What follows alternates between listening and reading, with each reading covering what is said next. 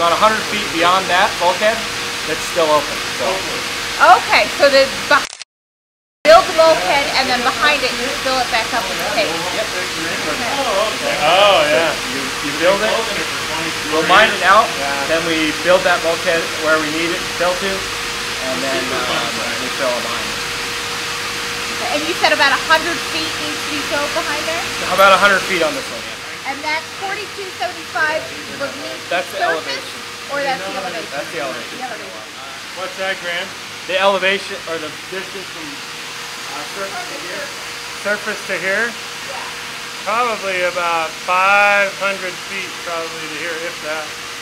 Vertically? Yeah. Yeah. One of the things we have good view. Red lead that runs out there.